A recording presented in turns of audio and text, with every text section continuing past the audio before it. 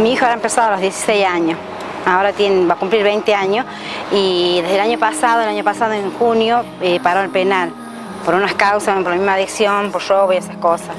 Y en septiembre le dieron la libertad. Y el 20 de septiembre se fue a Córdoba, Calamuchita. Entonces hace una, mm, una cosa de rehabilitación para la adicción. Y bueno, ahora está acá, unos días, que vino acá a firmar unas cosas en, la mm, Cámara 3. Vino, vino a visitarte, A le visitar, dieron sí. una especie de alta temporaria. Sí, sí, unos días nomás, sí. Bueno, ¿cómo, lo viste eh, ahora? ¿Cómo está? Un gran señor, muy bien, muy bien. Es otro hijo, es otro hijo nuevo cuando se fue. Él entró al, al penal eh, en septiembre del año pasado, en junio. Junio, en junio, En en, junio, junio. sí. Cae El por 9 de- robo. Sí, por asalto, Por que por asalto. asalto, sí, supuestamente por asalto.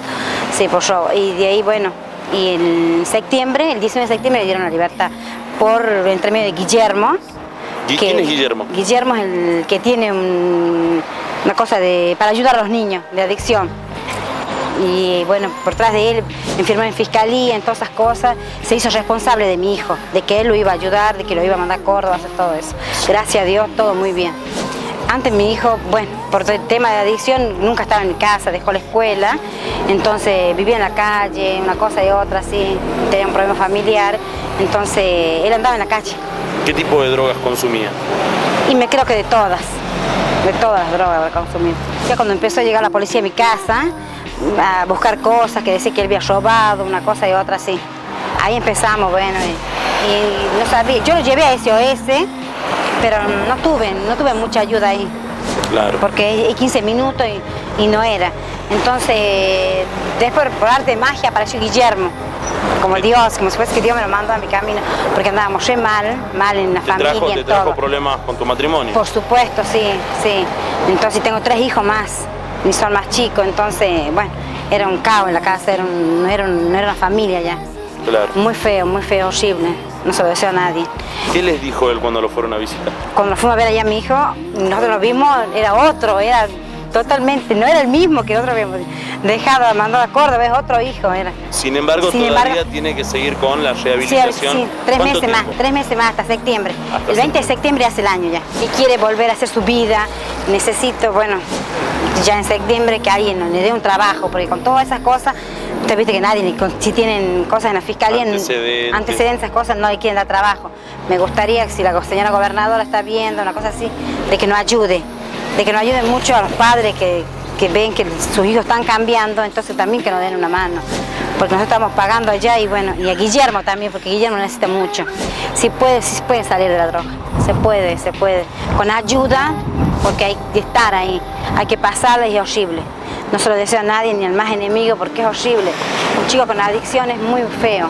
Aparte de, Ezequiel, que es tu hijo, vos también en esto de ayudar, te diste también con otros otros chicos que Sí, de- de- de conocí tu chicos de barrio, sí. que de tienen la misma situación, parecida. Sí, sí. Hay chicos de acá de Catamarca internados también allá. También son otros chicos. Son totalmente a los que se fueron de acá, ya es otros, son otros hijos. Claro. Son hijos nuevos allá. Dios les dio una oportunidad más en su vida.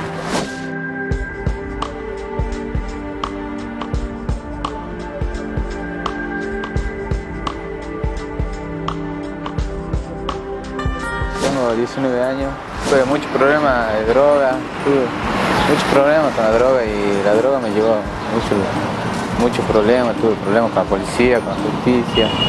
¿Cómo, cómo comenzaste consumiendo? ¿Cómo, ¿Cómo entraste en el mundo? Y empecé con amistades, sentándome en una esquina, juntándome con gente que no me tenía que juntar y empecé a ver otros cómo hacían cosas fumando y empecé a, me llamó la atención y quise ser igual que ellos y bueno, me llevó ¿Qué tipo de drogas consumías? Y conseguí, consumí de todo, marihuana, cocaína, pegamento, psicofama. ¿Lo comprabas? ¿Cómo hacías para...? Y salía a robar, salía a robar para drogar, me llevó también a perder muchas cosas, salía a robar. ¿Tenías problemas familiares? Sí, ¿Por qué pensás que entraste en esto? Y entré por, por curioso, como todo chico, por curiosidad, quería probar. Y bueno, me llevó a la perdición, me llevó a perder mi familia, todo. Pensaba yo que me hacía sentir bien primero cuando entré y después empecé a perder todo. Vivía mi familia destruida, ya no tenía nadie a mi lado, me sentí solo y, y busqué y empecé a buscar ayuda. Vos tenés un hijo. Sí, tengo un hermoso hijo, tiene tres añitos. Ahora cumple los tres años. Bien. Y en torno a esto, bueno, solicitaste ayuda. ¿Con qué te diste? Hay gente que te dice. Sí, me ayudó, busqué ayuda y Guillermo, no sé si lo conoce. Claro, Guillermo que nos comentaba tu mamá. Sí, me ayudó, me dijo que había un lugar donde, en el centro.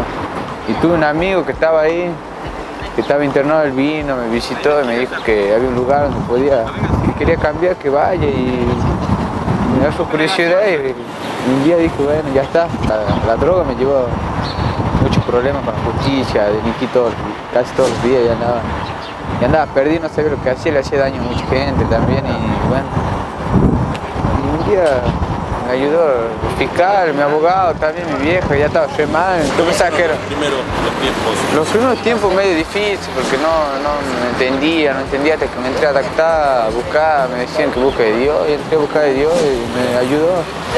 Me ayudó una banda. Claro, y tenía psicólogo. No, no había psicólogo, nada, me hablaban mucho de Dios, te hablaban mucho de la Biblia y tenía que, vos tenés que, tenías que poner lo tuyo, tenés que querer, si querés cambiar, cambiar. Me costó mucho, no ver a mi familia era duro y bueno. Y, y también mucho tiempo estuve perdido y no la veía, así que era bien para mí y bien para ellos. Y decidí seguir adelante y gracias a Dios ahora estoy bien.